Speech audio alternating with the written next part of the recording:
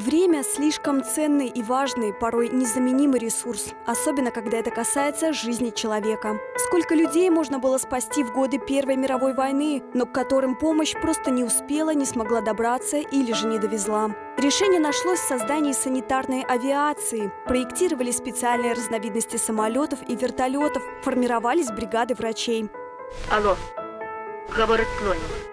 Терміново потрібен нейрохірург. Добре. Высылаем.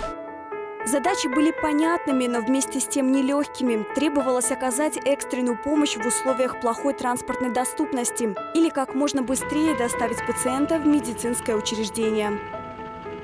Сёння до хворага вылетае опытны нейрохірург Красильникова.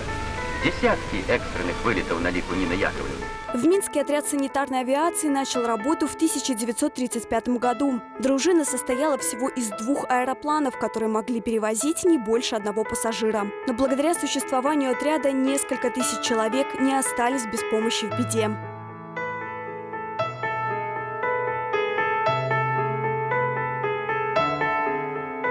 Небеспека миновала. Человек будет жить.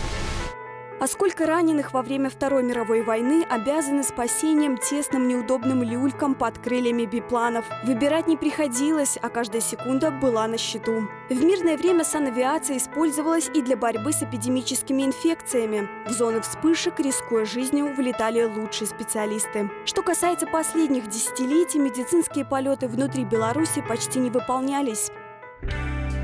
Санитарная авиация раньше была представлена самолетами, и, в принципе, в некоторых странах, которые имеют большую протяженность и э, не очень хорошие дороги, так оно и сохраняется. В Республике Беларусь э, на протяжении 15 последних лет создавались э, республиканские центры экстренной медицинской помощи и областные центры экстренной медицинской помощи, в которых есть специализированные бригады, которые оснащены автомобилями, которые оснащены необходимым реанимационным оборудованием, которое позволяет достаточно быстро приехать к пациенту э, и транспортировать этого пациента при наличии показаний на более высокий уровень. Однако ускоренный ритм жизни, забота о здоровье каждого человека диктует необходимость крылатой помощи. К примеру, из любой точки Минской кольцевой автомобильной дороги до больницы 7 минут лета. Экономия времени в разы.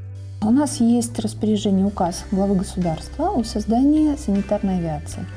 В данном случае на Министерство здравоохранения в 2017 году возложена функция проведения тендера э, и закупки оборудования для оснащения санитарного вертолета. Вертолет будет принадлежать МЧС.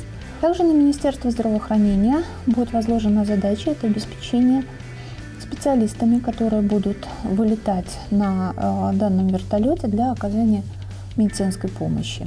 С возрождением санитарной авиации истории об оправданной надежде и спасении пациентов станет больше. Алена Чернявская, Вячеслав Будник. Утро. Студия хорошего настроения.